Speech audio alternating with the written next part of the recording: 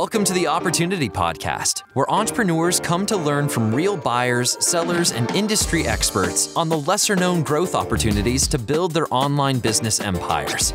We'll uncover tactics veteran online business entrepreneurs have used to build, buy, flip, and sell their way towards personal wealth. Sit back, grab a coffee, and get ready to uncover hidden growth secrets. The Opportunity Podcast starts now.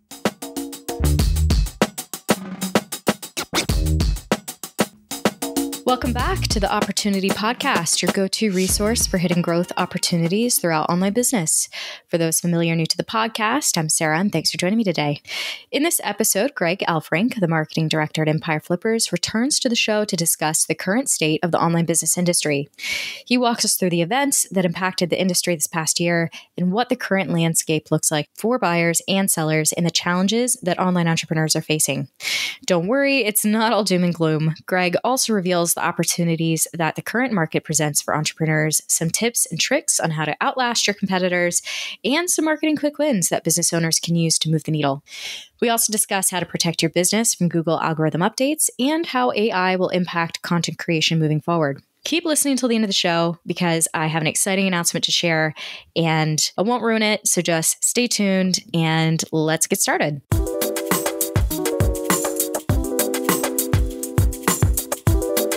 Hello, everybody. Welcome back to the Opportunity Podcast. I am incredibly excited to be joined by today's guest, the one and only Gregory Elfrink, Director of Marketing at Empire Flippers. So, Greg, thank you so much for coming on back, actually, back onto the podcast today. I think today marks the third time I've been on this podcast. So, I feel like I'm going to win the record of the most interviewed guest on here. I feel bad for you. God, you had to come back three times. That's awesome. I guess since the last time you're on, maybe the world's looking a bit different. I don't know if you're in a different spot in the world. Where are you calling in from? Yeah, I think the last time we talked, I was in extremely cheap San Francisco, and now I'm in extremely expensive Saigon, Vietnam. So times have changed. so you doubled your budget as soon as you went back to Vietnam, then, I hope. yeah, of course.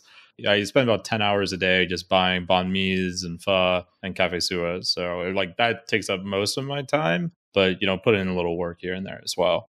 I was about to say, I mean, I don't know how you fit in being a director of marketing at Empire Flippers when I have an idea of how much cafe sua you drink. And one, I don't know how you're alive. Two, wouldn't know how you have time even after that. So you're feet of nature, Greg. I'm drinking one right now, actually. Actually, I would love one. I'm calling in from Belfast, Northern Ireland, and I was just about to search for some Vietnamese coffee today. I woke up and I was just like, today is a Vietnamese coffee kind of day. So maybe that was just not even thinking about it, but knowing I'd be interviewing you later and jealous of your cafe sua. the cosmos beckons you. It did. Vietnamese coffee. well, okay. Vietnamese coffee aside, we've got a bunch of things to go over today. Kind of an assortment of things. Maybe just obviously catching up with you since you were in super cheap San Francisco, but also catching up with the industry at large and wanted to finally pick your brain on kind of general kind of marketing let's say your marketing prowess, if you will, because we've got a lot of people calling in and I've been noticing that we're getting lots of questions. You're basically a YouTube celebrity at this point. Not forever. We have uh, an exciting announcement there with one of our content specialists, Nick. You'll likely be taking over that whole channel here soon. So soon there shall be a new celebrity. Absolutely. So someone's going to take your throne and then just catapult to the top of the charts, Nick G. So everyone make sure to check out Nick's new YouTube content. But yeah, we're basically going to be catching up on a lot of different things today, probably having some fun along the way. So this should be a fun episode. So let's kick it off. Let's get started. Obviously, a lot of things have changed since we last talked, and we know this year in particular has been crazy because somehow things managed to get even crazier in 2022. I was wondering if you could walk us through the events that might have impacted the online business industry in 2022. What has happened there? Sure. Like if you're in the news business, this has been a great last few months for you because there's yeah. a lot of stuff happening. As most people in our audience, or maybe not, maybe they don't know, the aggregators are imploding across the landscape. The FBA aggregators and throughout like 2020 through 21, they raised literally hundreds of millions of dollars. Like a few of these companies worth billions, and now we're seeing them laying people off, right? And this is actually like something I often advise entrepreneurs to don't do this, but they want to do it anyways, which is just be obsessed with growth and growth at all costs. And these aggregators, very smart people, a lot of them played themselves into that narrative of growth. And they are so levered up with debt and equity, all sorts of stuff from their capital raising that a lot of them now, with what I'm about to talk about, is destroying them. And the thing that happened there is basically the public market. So, like the stock market, for example, huge hits as inflations rise, concerns with supply chain, concerns with you know the ongoing war in Ukraine. All this kind of stuff is creating this huge ripple effect. And if you ever see the public stock market like take a gut punch like this, the private capital markets they're basically just had their legs severed because whatever happens to the public markets is like five ten times worse than the private markets typically. And unfortunately these aggregators and other big players who did raise money they're not like a gamestop that can like count on a bunch of reddit memesters to lift up their valuation. It doesn't work that way in the private market. So they don't have that same kind of hype train to uh, really recoup that capital that they need for growth and so a lot of them, when you combine that with capital just drying up, that they can't raise more, and with the fact that so many of the businesses that they were buying were more expensive due to demand, you get this very interesting storm that is happening. And then there's the other thing that has happened to the aggregators, which a lot of them realize they're very good at raising money, they're very good at M&A and very bad at running FBA businesses. so there's that aspect too, which I've often talked about, which you know some of these aggregators they come from more of a M&A finance background, which is cool, it's great. They, it helps them get really good deals, they make really good deal structures, fantastic buyers but maybe not the best actual operator. They don't have that same kind of grit as a bootstrap entrepreneur, like the seller that built that business did, to really go and go forth and become bigger. So you're seeing all of this and the layoffs that are happening in the aggregator space it's not just tied to the aggregator space. Like if you look at the tech space, basically any of the tech companies that were raising a lot of money for growth are in very similar positions right now. But I think with the aggregators is especially interesting because they treated them so much like a tech company, like a tech startup. In fact, that is often one of their marketing messages. But at the end of the day, they're really not a tech startup. They're an e-commerce store, right? They're an e-commerce brand. Then they're selling physical products, not uh, you know some of super high margins, say like uh, software.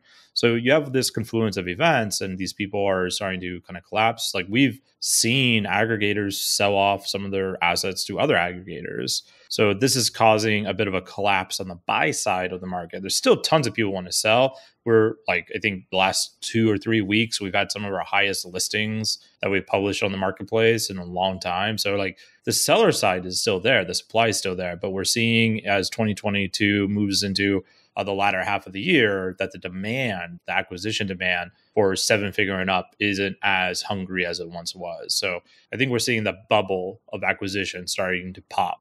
Yeah, you just use terms like gut punch, severed legs, and like, to me, poeticness to it. yeah, the poeticness. When you describe all that, and to me, it sounds a little bit like mayhem. And I know it's mayhem on, I guess, specific subset buyers. I mean, I'm curious where the silver linings are in all that, if any. Yeah, I mean, well, like there is a lot of opportunity in doom and gloom. When the clouds are all stormy, everyone gets scared, runs back into the building. If you stay out in the rain, you're going to figure out, you know, how to build a better mousetrap, right? So there's definitely opportunities here. On the buy side, the opportunity is quite clear. The competition for businesses to acquire businesses, especially in the seven figure and up range, just got slashed, right? We talk about the severed legs slashed at the knee, right? So the buyer who's not the aggregator, who's been more conservative with their capital, or an aggregator that has been conservative, because there are a few that I'm friends with that they've been very conservative over the last two years. They didn't like jump into the hype train like a lot of the others did, and they're doing great. It's not all aggregators are you know screwed. A lot of them are actually still doing well. The ones that really manage their capital good, but for buyers the competition is going to be lower. So there's a better chance you can get a better deal for a better business. So that is a big silver lining because last two years has been so hyper competitive. Like if you're looking to buy uh, businesses over seven figures, you're often competing against like five to 10 other people who are just as well funded as you or even more. And if you didn't raise capital, you were at a super disadvantage because you're just not going to be able to beat some of these people that have raised hundreds of millions of dollars that they can deploy, right? So that's some of the silver lining. So some of the more main street buyers are going to stand a chance at getting these bigger businesses and maybe even get better deals because as demand falls, they're less competitive. You could probably make offers that you just couldn't make back in 2020 to 2021. And, you know, it's kind of what we talked about the last time about the season of the seller. Now I think we're starting to move back into a season of the buyer. Well, yeah, because I wanted to ask you about that. I mean, Susan seller has been eh, such a big theme of you know what we've been talking about the past couple years at EF. It's such a special time for sellers to come in and make these absolutely incredible exits, thanks to the state of the market. When we're talking a lot about what's changing on the buyer side, but I think it's worth getting into what the landscape looks like for sellers? And you know are there still some silver linings for them? Is are there still some benefits that they could be taken advantage of? Or do they need to have a completely different headspace when it comes to exiting right now? Unfortunately this storm particularly affects sellers right? There's not as many silver linings going on for them. Now i'm not saying you can't sell. You definitely can. We're still selling businesses right? Every single week we're selling businesses. But it is harder. So what could have sold easily is a mid of 2021 may not even have a chance now, just because of the way that the buyer ecosystem is at. Now, if you have a high quality business, then you're most likely still going to sell. So what I would tell sellers, the main thing to focus on during this time of tumultuousness is quality brands, quality products, and a quality, well ran business. Those three things, I mean, even good times that you want that, but heading into recession times, eh, like as everyone's fearing that we're going to do, that is super important, right? Like the other thing is you probably, if you want to sell your business, you're going to have to be more open minded in terms of flexibility before you could be able to just like negotiate above list price all day long. Now, that's not particularly gone away just yet, but there is a chance that will go away and so sellers who are too rigid in what they will or will not allow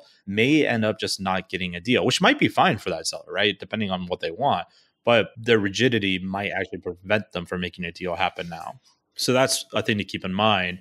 The other thing, this is kind of a silver lining. So for sellers, not particularly in selling their business, but in running the business in general, if you've been a good manager of your own capital as you've been growing the business and didn't give into the great fool's quest of growth that every entrepreneur gets charmed by, and you're sitting on good liquidity, then you're in a very good position right now because a lot of your competitors most likely aren't. They most likely did give in to the fool's quest of growth at all costs, and they're probably in a thinner position than they would like. So what you'll see is a lot of businesses start closing doors, like this folding. Like now that the COVID bump, as the, a lot of my e-commerce friends call it, is going away and people are starting to shop offline again and just less traffic coming than what we saw at the height of the pandemic. Some of these newer businesses, they got too used to that. And now they don't know how to operate at thinner operations, thinner margins, all that kind of stuff. So the silver lining there for the entrepreneur, you might have less competitors, which also means you can probably grow the business to be a lot bigger than what it was before. The space will get less noisy, which is always good for the entrepreneur building the business. And ultimately, that could lead to a much bigger valuation too down the road as you take over that market share that the other sellers are like kind of throwing in the towel have given up. Yeah, you know, I was speaking to a couple people recently, and it sounds like as scary as recessions are, or potential recessions, you know, it is a good time to bolster your business. There is room for opportunity, like everything you spelled out. And I mean, there are some people that built the business of their dreams because of the recession. Like you said, the competition cleared out. They were able to build something really strong. Lo and behold, a few years later, when things are back to being booming, they're already leading the space. I like what you said about you know growth and repositioning how you were approaching growth or making sure that you've got those capital reserves because i think you and i greg have talked a lot about you know how do you prepare for the worst of times? And we've talked a little bit about like having a bunker mentality if you will which isn't always a bad thing. But it could be that those who have businesses that are doing well right now it's like that repositioning of okay here's what I do to strengthen, strengthen, improve upon my business versus say rushing to sell like I might have, you know, six months, a year ago, thinking it's my only chance. And, you know, if the right buyers aren't there, or I could just be building the business, I might be in a better position to hold on, continue to strengthen the hell out of it versus just kind of running and selling it at not the right time. This could be the thing that carries me through the pandemic. This could be the thing that, with a little bit more time and energy spent on it, all of a sudden I could dominate the market in a new way. And I think it's just it's a matter of mind shift, which you know maybe some people are ready for, maybe they're not, but I still think there's some like good advice in that mind shift and everything that you just spelled out. Yeah, absolutely. You know, I think it's a bit scary out there for sure with everything that's going on. But if you look at the long arc of history of businesses that are household names today, like a lot of them started in recessions, a lot of them started in bad times. In fact, a lot of businesses start out of the necessity because of bad times.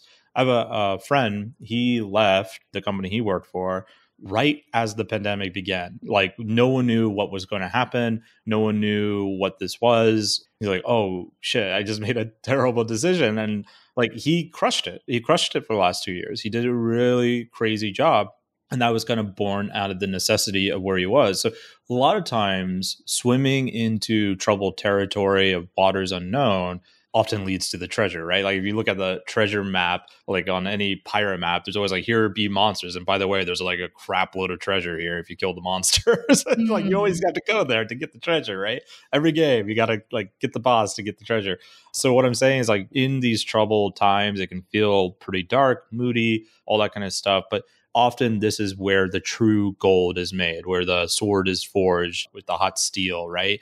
And as these other companies kind of will, because they don't know how to respond, other companies will come rushing in and just crush it. like from my own experience in marketing, this isn't necessarily related to the economy, but like just in Google SEO, you know, like that's kind of like my big background in marketing.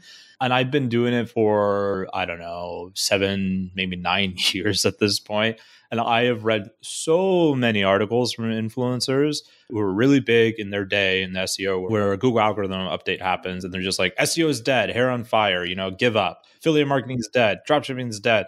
All this stuff is dead all the time. There was this guy who he actually charted how many times someone has said SEO is dead. It was like in the hundreds, like on like real publications, you know. But yeah, I am fairly certain I saw an article like that yesterday. so, exactly, and the newest version, right? This, by the way, is one of the big reasons why your competitors will wilt and kind of die off. Like they might still be profitable when they die off. They get in this mindset where it's just all is lost, woe is me. I'm throwing in the towel before I lose everything, right? They're not even thinking about solutions. So the entrepreneur that keeps thinking about solutions of how to overcome this adversity how to operate more efficiently, leaner, and with a realistic set of growth goals. Not some growth goal that's like pie in the sky, that'd be real nice, but really grounded growth goals and understanding your costs, all that kind of stuff. And you'll probably do fine. Like I said, a lot of businesses are born out of this kind of necessity, this risky waters that people swim in. Well, I'm glad that you started talking about SEO because that was one thing that I had on my mind. Is we are just talking about state of the industry and everything going on. There's the other side of that, which is kind of what's going on in the land of Google, what's going on for people that rely on algorithms to kind of keep up and running. And we know like a lot of affiliate businesses, content businesses will be impacted by what's going on with Google. So obviously everybody, them in particular. So I'm curious, like anything going on there that you want to talk about and maybe dispel any sort of thoughts that might be on the minds of entrepreneurs? Sure. So the algorithm is always a moving target. So I'll, give my little spiel I always give about entrepreneurship. A lot of people start a business to quit their job, right? To like, I'm going to be my own boss, but they never right. realize that the algorithm becomes their boss. They're way crueler than your previous boss was likely. Like, I worked in the oil field, so I had some pretty cruel bosses, but Google is a very cruel boss. it just does not care. So, like, I will always give this advice when asked about this type of thing. Like, the number one thing you can do as an entrepreneur is to build an audience you retain. So, if you're building an affiliate site, building an e-commerce store, whatever, build an email list. That is your number one asset that the algorithms cannot do anything about. So that's my soapbox on that. But in terms of what Google's trying to do, this recent update is quite funny. So they've been targeting like AI content, AI driven content. So I have a friend, he has about a, like his content site is probably worth around $5 million and he got destroyed in this update. And it's ironic because he has no AI content on his site. He actually has high paid, like niche expert writers writing all this stuff. so he's like, what the hell? And then I have friends who have just crazy spammy AI websites that are crushing it after the update. I actually heard a rumor. I was talking to Justin Cooke, you know, our CMO, co-founder, uh, about this. I didn't know about this till yesterday, but he said that they rolled the algorithm back a little bit, which is interesting because I wonder if they rolled it back because Google, like, frankly, doesn't know what is AI or not AI content. And to clarify, sorry to cut in. So yeah. the algorithm update well, we all don't know for sure what they're targeting, but it's understood that it was trying to crush AI content, bad AI yeah. content. Okay. Yep. It's trying to crush all of that. And it's ironic because Google built the AI that these SEOs are using as GPT-2 and GPT-3. So they're like accidentally creating their own demons once more. Interesting. I love yeah. it. So like if you look at all the AI tools like uh, Jasper, Word, I think one's called Word Hero, but pretty much all of them are using GPT-3, which is Google's AI language processor. Incredible. Okay, so you know now they've rolled it back, and you're hearing this ripple effect across the industry that some people, let's say, did the right thing. I don't think there's really like a right or wrong thing here, but they had the niche experts come in, they got crushed, and then people that went kind of more low quality AI, they're being lifted. But there seems to be like the tides evening out, and people are starting to see improvements. So yeah, I think I haven't dug into this yet, so this might be totally unfounded, but just having that conversation yesterday, I think if they did roll back the algorithm, it's probably Google like throwing their own hands up, like, oh my God, we don't know what is AI. we don't know what is AI or not AI, but we're getting all this bad feedback. I think we messed up. So that's probably why they rolled back to try to figure it out better. I know they can mostly see GPT-2. I don't know about GPT-3. I think they're getting better at it. But of course, GPT-4 is about to come out. So like all that's going to be for naught. But yeah, so my friend's sites are probably going to recover. I mean, the algorithm update only stopped, I think, about a week ago as the time at the time of this recording. And usually you don't really want to mess with your site for two to three weeks after an algo update just to see where you settle. Because that first week is like Google's just shuffling everything around to see what works and what doesn't. And they're looking at engagement, like click through rates to links, all that kind of stuff. Uh, like on the actual search results to see like what people like, to see if their algorithm worked, right? So we'll see. My friend who got hit, the guy with the $5 million content site, he thinks he's fixed it, but he won't know for a month, you know, wow. which is very SEO. Like it takes forever. Well, I wanted to talk to you about that because, you know, wanted to dig in and pick your brain on a bunch of different marketing things. But that was one topic that I wanted to talk about because AI seems to be the growing whispers throughout the industry when it comes to creating content for, you know, all kinds of sites online, all kinds of businesses. But it seems like we have this large degree of just unknown when it comes to dealing with AI. Is it good? Is it going to hurt sites? Is it like the way of the future? Will writers be replaced? I think there's excitement and yet fear mixed in, and nobody seems to know what to do with this like hot rock they're trying to hold on to and yet pass along to everyone else when it starts going bad. So, I mean, I'm curious from your perspective, like, what's your take on AI and how it's going to impact content creation? Yeah, I mean, I think it's really cool. And I'm a writer saying that. Like, I love writing mm-hmm. and creating content. I think if you go into it using AI like my spammy friends, you're never going to build something quality because they're just like, yeah, give me 20,000 words. Like, great, publish it. Like, you know, that kind of content usually tends to be pretty crap, pretty low quality. But you, there are ways to use AI where it can augment you. I think the best use case in terms of a content creator, like let's say you wanted to start a blog on a topic you're very passionate about, you know a lot about you could use AI to create outline for you super quick, to write intros, to write some of the paragraphs in your outline. You already know what it is. You can mm-hmm. like you understand what you're talking about. You can fact check that very quickly versus someone who doesn't know like that pro- might not be a good move for them. Or if you're a fast writer, it might not be a good move for them. But if you're a slow writer, you know your niche, then the AI can be an awesome augmentation tool for you to speed up your writing. I'm a very fast writer. So whenever I use an AI writing tool, I tend to find it to be like kind of slows me down a lot which might be just me not using it as effectively as possible. You really need to approach it with frameworks and feed it in the right way. It's almost like you're collaborating. Like, so don't view it as it's writing it for you. You're like collaborating with this artificial intelligence on the article. Like, just like how you do, Sarah, when you're like editing one of our writers' pieces, right? It's very similar. Of course, the feedback is instant, of course, and you have to guide it throughout the whole process. It does save time, again, if you're a slow writer, so that's good. Some of the other things that you can do with AI that I find very interesting isn't necessarily just writing out your blog post, but helping you with like copywriting, like as an ideas generator. There's like some that give you those like wacky marketing ideas, and sometimes they're actually like funny and also quite good. So it gets the juices kind of going. Uh, and a lot of them, they're trained up on general copywriting principles like AIDA or PAS that can help you a lot. Like say you're running Facebook ads and you want to test out like a hundred different ones, AI can like crush that for you. So you edit it a little bit, but you can crank out tons of those stuff. So it's not just like blog posts and SEO writing where AI can benefit. There's all this other stuff that's happening. I think one thing that's really fascinating in AI is voice AI. So there's a tool called Descript that I recently like been nerding out about, just like looking at and you can literally edit a podcast or video like you would with a Google Doc. So if I called you, I don't know, Jolene instead of Sarah, and we wanted to edit that out, like, oh, Greg's an idiot. I can't believe you said Jolene.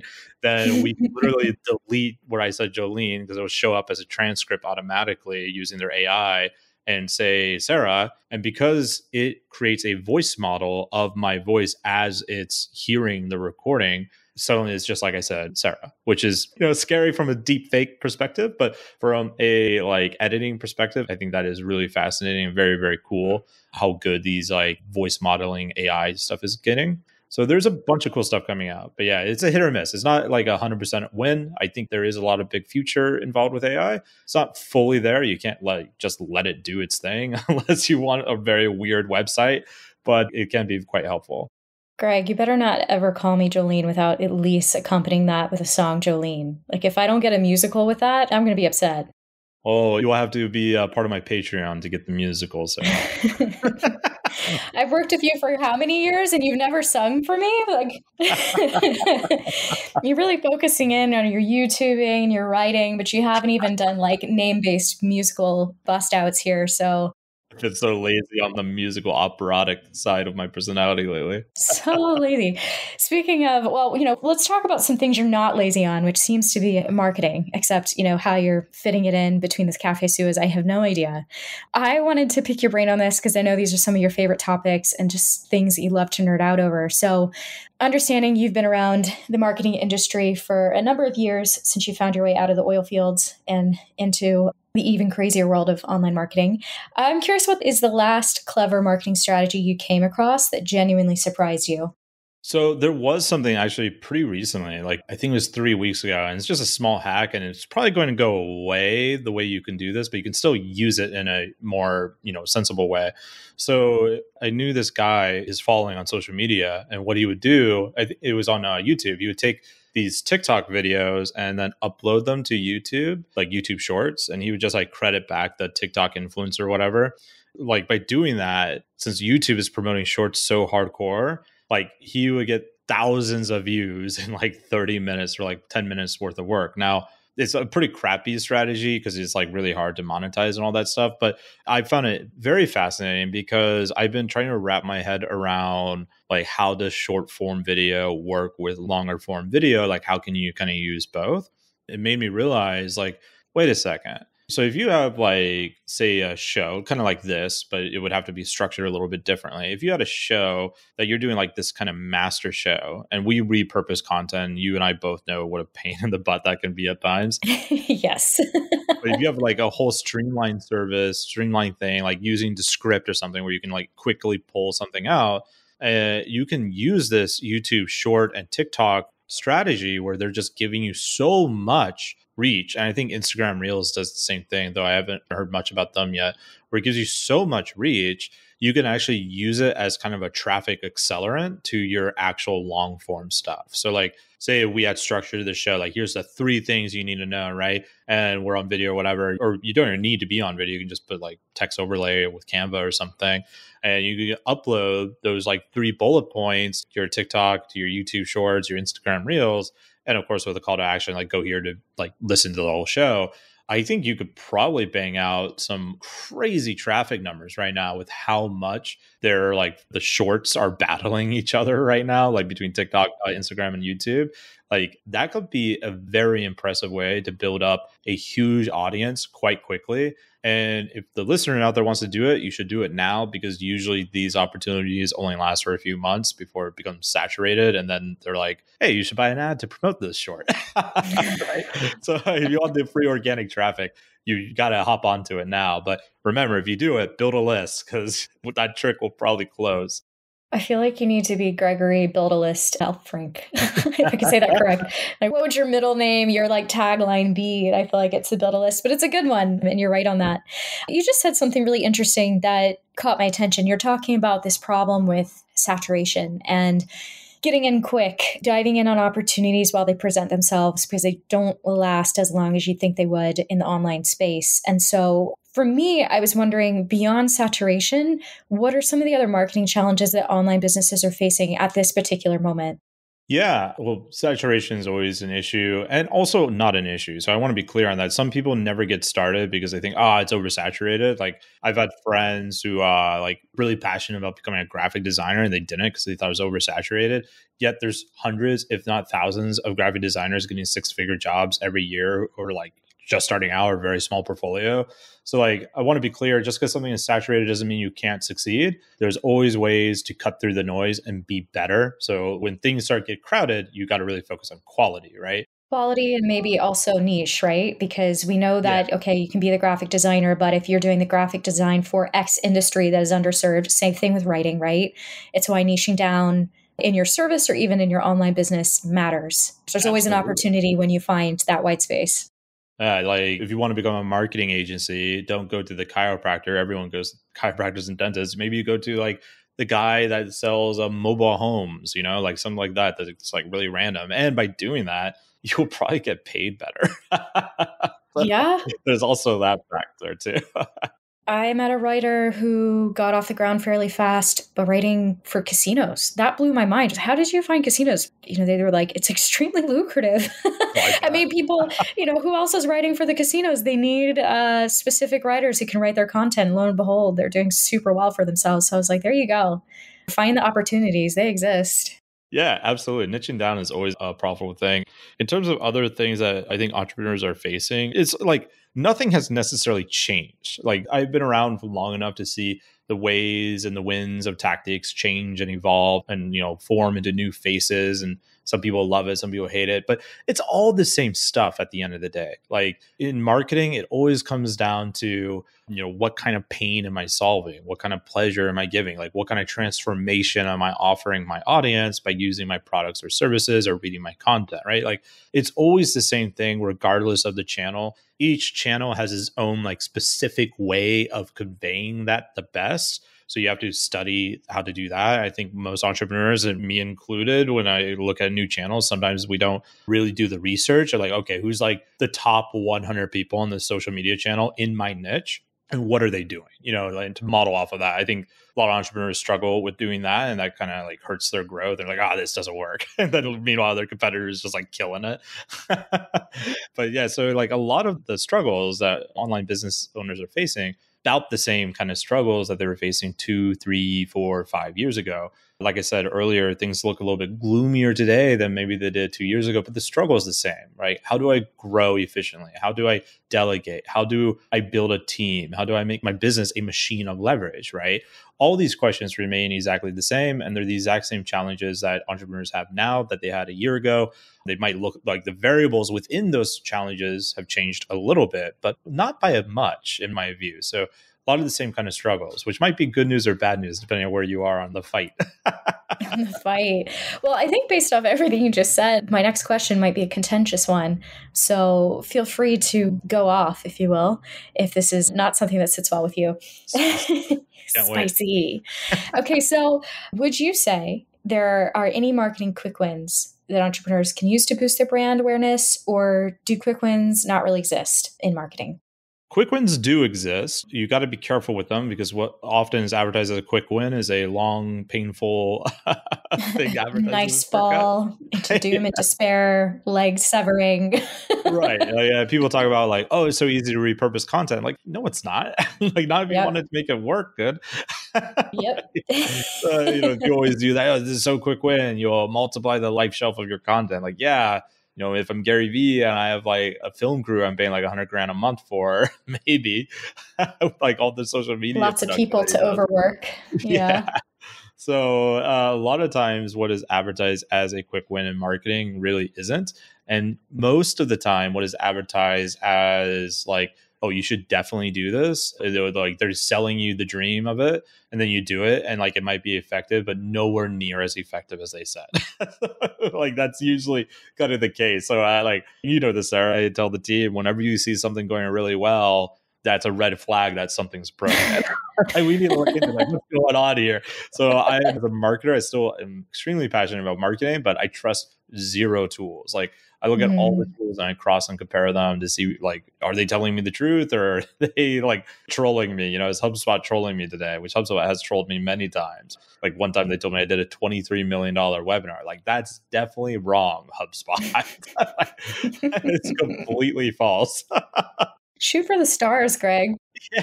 Believe anything's possible. You know, closing eight figures in a half hour webinar, no big deal. You're uh, just that good. People can't even go through a vetting process in like less than a week, you know? so it's like completely just so wrong. But yeah, so there are actual quick wins. There are things I would say focus on. Uh, conversion rate optimization is one of the biggest quick wins just from a pure traffic to customer standpoint like we've done conversion rate optimization on our evaluation tool. I think this was probably like three and a half, maybe even four years ago. And that led to us effectively doubling our lead flow with the same amount of traffic hitting those pages. So, CRO, don't sit on that. Conversion rate optimization is huge. If you don't want to do it, you can always hire an agency to do it for you. But that is one of the quickest wins. And it usually, it doesn't always work, but when it does, it can be huge. And you're already getting the traffic anyway. So, none of that uh, variable is changing there. The other thing, if uh, your business is using SEO, I highly recommend going through your blogs, all your content, probably like maybe once every two quarters. You don't want to do it like too often because then you're just always updating old content. But there's often a lot of quick wins you can get from on page optimization. Like we recently did some like tweaking of our valuation tool content and our SEO traffic shot up. I think it was by 123%, something like that, 140%. And our leads also shot up from organic traffic. And that's a landing page. Like there's not even really any content on that page, right? It's a landing page, squeeze page. But we have so many backlinks going to it and I was just trawling through Ahrefs, like you know, moseying along, like, hey, that's an interesting keyword. I wonder if we have that on that page. Oh, we don't. We should definitely do that. so we added like 20 keywords on there, and it took us like a week to get this huge win, right? And like we sell, I think our average size of our business is still around like five hundred, six hundred thousand dollars and that's a pretty good return on investment for what is effectively like an hour's worth of work and then waiting around for a couple weeks with it. So, like, not bad. So, there are actual quick wins you can do. In terms of brand awareness, if you want to grow your audience bigger, I think using something like the short strategy as a traffic accelerant that I mentioned earlier is really big right now.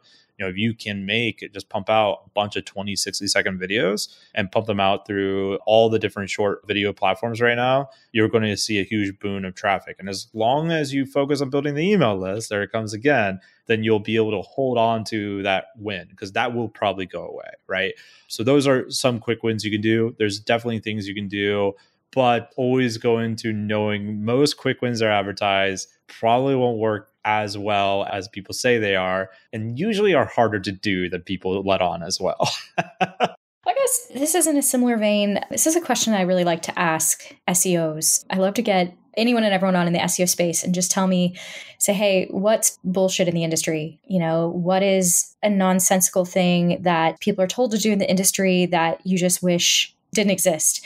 And I think the same exists for marketing. So if we could talk about that question in light of let's say future proofing your marketing strategy and what should people be aware of for the future in terms of what is, say, BS advice right now. Don't listen to this, do that to really succeed in the coming months, the coming years? What would it be? So I've been pretty active on LinkedIn for the last, I don't know, year and a half, two years. And I've become friends with a lot of B2B marketers on there. And there's so much garbage they post. Like there's, hmm. there's this one where the guy was like, and he had a big following and people loved it for some reason. He was like, marketing is not about convincing, it's about persuading people. Like, man, those are literally synonyms. Like, what are you talking about? That's the same thing.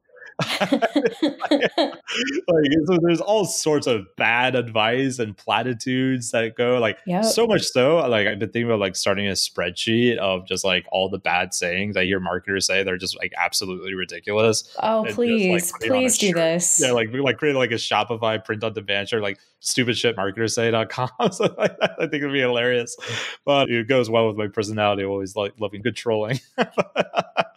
uh, but in terms of actual bad advice out there, and this is bad advice in my view that comes off sounding like good advice on the surface.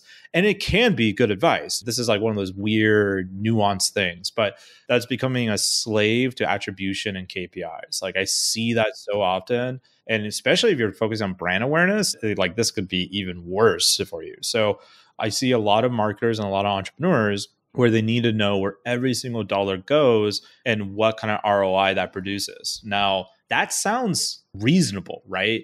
But there's a big problem here. Even Google, that has spent probably at this point billions of dollars, has not figured out attribution very well. And now we have the iOS update that's coming on that has been causing all sorts of interesting mayhem. Oddly enough, my ads I get targeted to on Facebook are more targeted to me now than they were before. Like I keep getting hit up about becoming a professional dungeon master. Like this is so oddly specific. like how do you know I play D and D?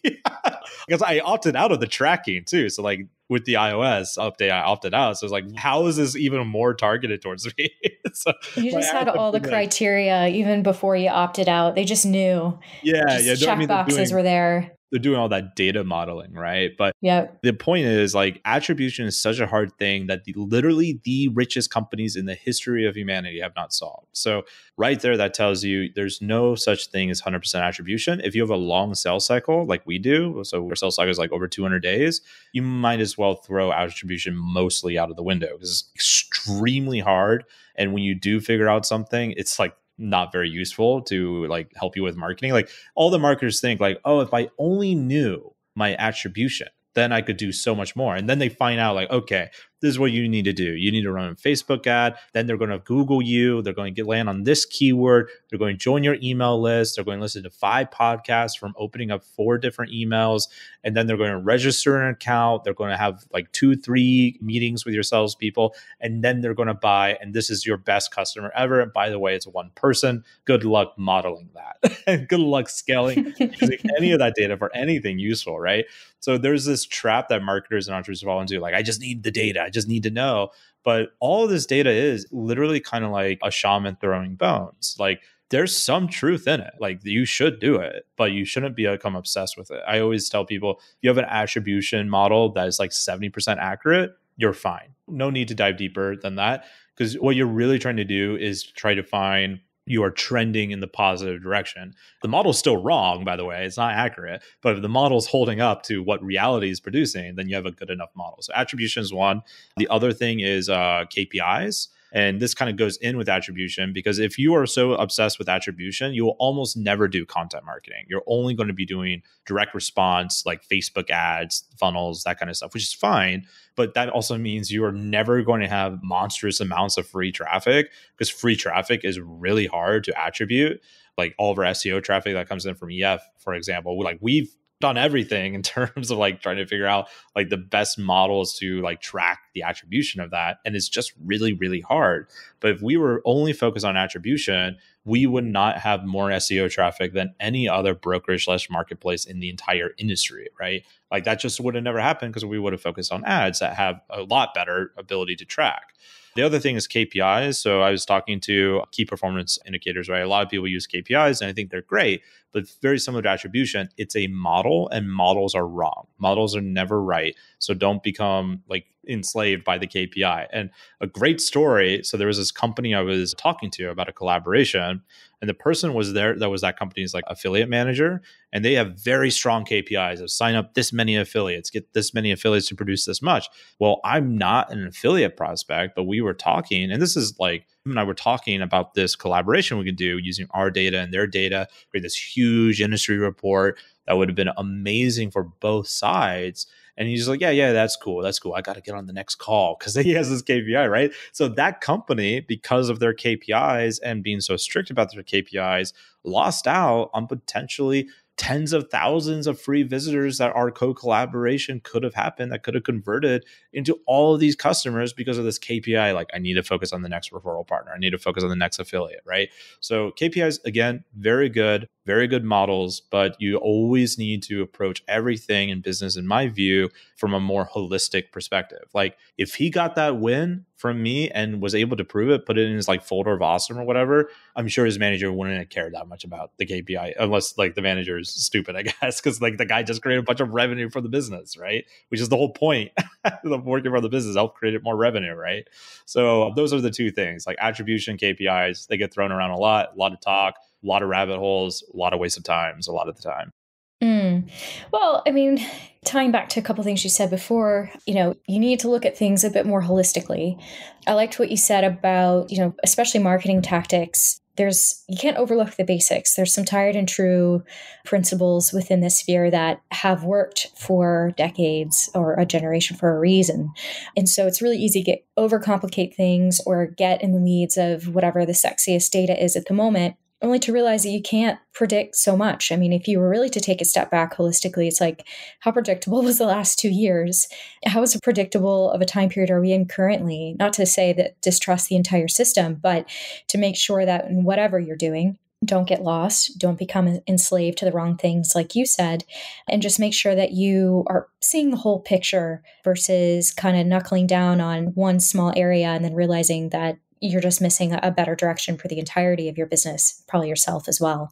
Yeah, absolutely. I mean, some of the funniest stuff I've done to help grow EF, if we were like super focused on attribution KPIs, I just wouldn't have been able to do. Like me accidentally buying a billboard in Thailand for like three months. Which created tons of social media content for us from like digital nomads taking pictures of it. Like, oh my God, this really is the capital of the digital nomads. There's the Empire Flippers billboard, right?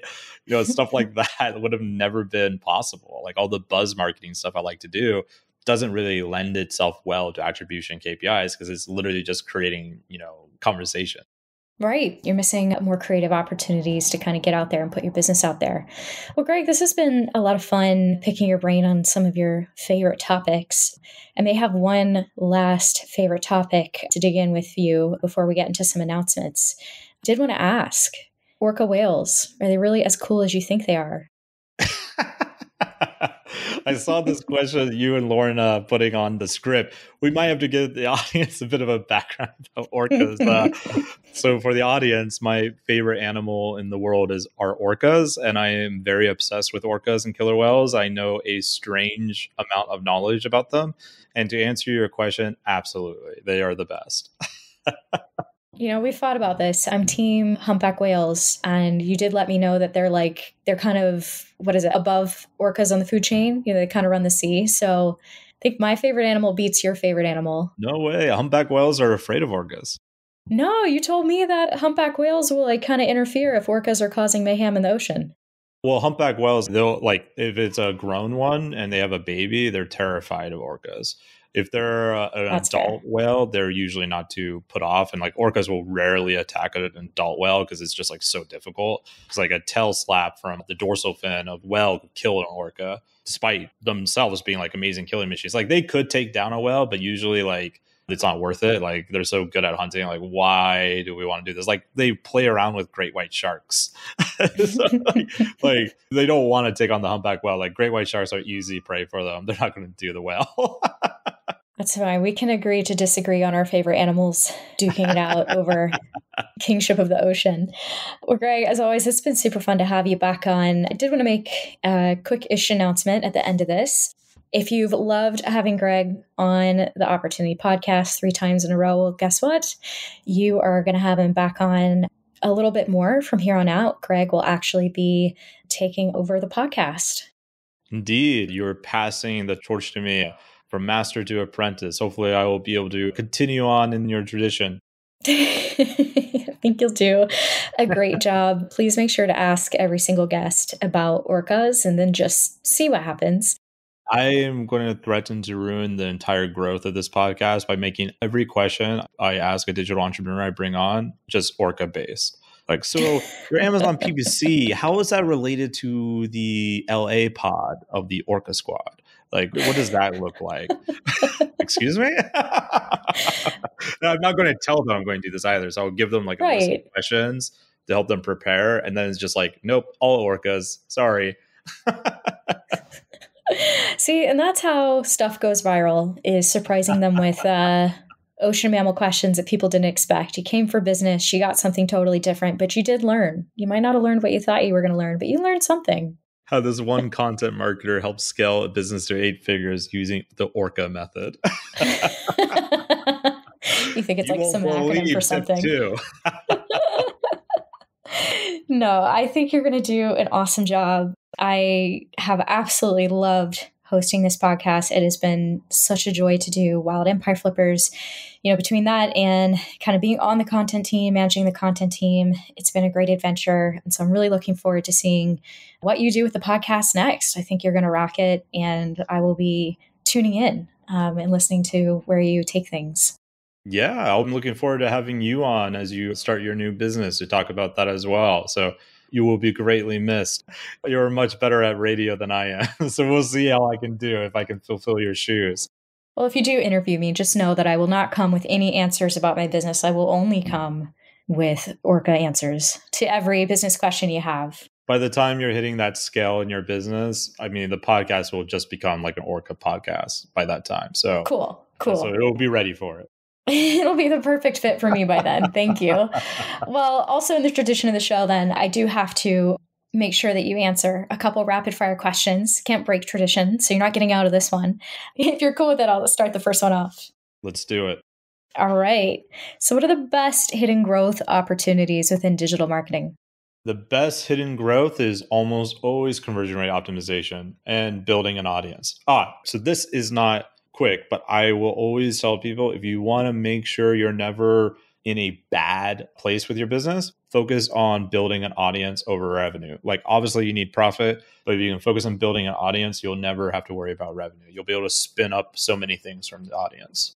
Awesome. Okay. Hey, that was actually fairly quick. I'm impressed. All right. Long-winded curse. well, no, you know what? To be honest, and if you listen to the podcast, people will know that we get to the rapid fire question section. And honestly, they're such big questions. They're really hard to make rapid fire. So it's cool. It doesn't the have slow to be. fire questions. The slow... I'm going to rename it the slow fire questions. slow burn. Um, and what tools or resources can people use to help market their online business? Yeah, I think the tool stack changes based on what you're doing, but I think one of the most foundational uh, things is market research for any kind of marketing you're doing. And I think SparkToro, it's owned by uh, Rand Fishkin, who, who founded Moz back in the day, is a tool not a lot of people talk about, but it is super cool. I think if you want to learn niche better, the best thing to do is see what that niche is talking about, and SparkToro makes that super easy. Awesome. And final question, one that you've answered before, but maybe you'll have a different answer for this. What has been your funniest moment working within marketing? Oh my gosh. There's so many moments. I'm trying to think if there's a recent one that happened here, actually. I thought was quite funny. Yeah, there was something that happened. Oh, so here's something that is funny that happened to me recently. I don't think I've talked about it on the podcast. So a few months ago, I was in Dubai speaking at Affiliate World, which is really cool. It's like a dream come true for me because like I really love that conference. I think some of the best marketers in the world go and speak to it. There I was speaking in front of like 7,000 entrepreneurs and my voice is completely blown from the night before. Like I was like out networking with these people forever to the early wee hours of morning And so I wake up and my throat is just like constricted. And I have like an hour and a half before I have to give the speech, like the biggest speech I've ever given, basically. It's like the biggest audience. It's just like I'm croaking, you know. So I'm like, oh no, I need to take a shower. So like a hot shower. And I go there, the water is completely cold. Like, oh my God, it's like glaciers are attacking my skin. So I have to get out of this like miserable shower, just like, well, at least I'm awake. so I had to go down to the lobby and order like this huge thing of green tea, and I just start chugging it. It's like burning my throat. Like work, work. and so like the guys like message me, the conference organizer, like, "Hey, Greg, are you coming? Your speech is coming out." We're like, "Yeah, just taking, just taking care of this. I'm doing a delayed by my green tea." It's like, what does that mean? like, don't worry about it. And, uh, and so I walk over. I get up onto the stage and my voice is hoarse. I'm like, all right, I need to like tell the audience something about my voice, like make light of it. Cause like that's how I always handle these kind of situations, right? This was make a joke. And so I tell the audience, like, you might notice my voice is very weak right now. And if your voice is not weak, like my voice, that means you're not taking this conference very serious. I was out all night networking with tons of people, and you should have been too. If your voice is like mine by tomorrow, then you did not do enough at this conference. but you just started laughing, you know. And I'm like, all right, good, covered it. I got it. Did you got anybody who came up with like croaky voices the next day and was like, Greg, I took your advice, or whatever that would sound like in a croaky voice? So this guy who runs a very big FBA community, and then these two like Chilean millionaires came up to me after the speech because they really liked you know what I had to talk about, and their voice, all three of their voices were like my voice the next day because we all like went out uh, networking to like the different VIP events and stuff. So like I actually breakfast with the two Chileans because they were staying at my hotel, and like yeah. they definitely had some frogs in their throat. Like, you did it. You got good value for your money. you took my advice. I love that your advice is basically damage people's health and their, you know, their vocal oh, cords. Yeah. It's despite terrible. it being temporary. So many of my digital entrepreneur friends are like obsessed with like, you know, Tim Ferriss style, optimize your life and everything. They have the Oura rings. Like like John, you know, our marketing ops manager. When I visited him in Dubai, you could just see all of his health charts on his like his iWatch and his Oura ring, all the other stuff he uses, just like steep decline, like nosedive. Like man, I am a terrible influence. But then I told him, like, look, man, I'm also a great influence because like all your charts are going to go way back up. You're going to have such huge gains you've never seen before in your health once I leave. so you're welcome. your body will remember this. It will remember spending time with me. Be like, there is an effect. Memory. The moment I'm just around John, his Oura ring start buzzing. Like you must leave oh my gosh, don't get too caught up on the data to revisit some of your old advice. Don't listen to the attribution. it's Greg, but not really Greg, but it's also still Greg. That's super funny. Well, now that we know that you're good for marketing advice, bad for people's health, but still a joy to talk to. I appreciate you coming on here again and sharing kind of what's going on with the industry and what you're seeing right now going on in marketing. I think this can be super handy for people who are looking to sort of get ready for all the crazy times coming up and be thinking about what their upcoming exit might look like. So, thanks for sharing all your wisdom with us today. Yeah, absolutely. I'm looking forward to helping giving people more good marketing advice on here while ruining their health and making them rich when they sell their business. So I think there's a headline in there somewhere. I'll use the AI tool to figure it out. How to get rich, but also die kind of fast and slowly at the same time with Greg Elfrink. Technically, that means you're financially free sooner because you need less money because you live shorter, right? Yeah. it works. None of us were getting out of life alive. You might as well uh, damage your health a little bit in a fun way with Greg. That's awesome. It's always a pleasure to be on here, Sarah. Yeah, well, thank you and best of luck taking over the podcast. You are going to crush it. Can't wait to see what you do with it. Thank you. I will do my best.